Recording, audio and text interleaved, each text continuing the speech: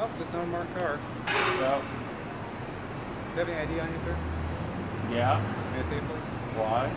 Well, people start nosing around their cars. I like to know who I'm talking to. Well, my name is Robert West. Robert West, nice to meet you, sir. Yeah. What's your birth date, sir? Uh, that doesn't matter. does? Well, Is he being detained? no. Is he free to go? Yeah, I'm just talking. Well, You're just talking, you're just asking him questions that you know he has absolutely no obligation to give you, right? Shutterbugs. Yes. Do you want to ask me for my ID? I didn't see you looking in the car windows. I was. It's my property, it belongs to me. I paid for it. My tax money. And I did too. Right on great. So what's your point? My point is, is uh, you're mistaken bacon. And you should go and Google uh, Tom Zebra. So I'm free to go, right? Not being detained? No? Are you, do you have handcuffs on you? Do I have no?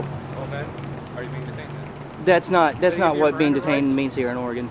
If you tell me I'm being detained, I am being detained. Did So I I am free to go, right? Did I say that? I'm trying to figure out people looking at our car windows. Do you have reasonable, articulable suspicion that I've committed a crime?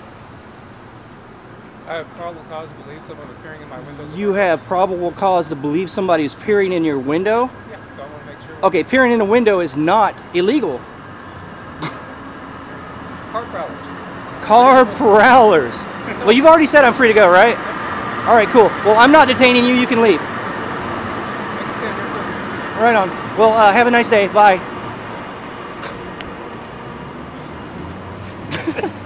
leave your camera on, Bob. Okay. Fucking pig. Google Tom Zebra, bitch.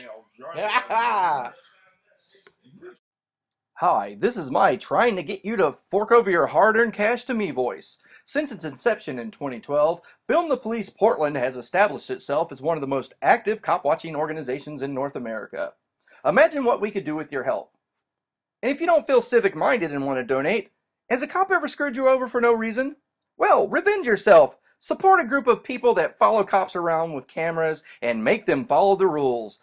Go to my channel and hit that support button.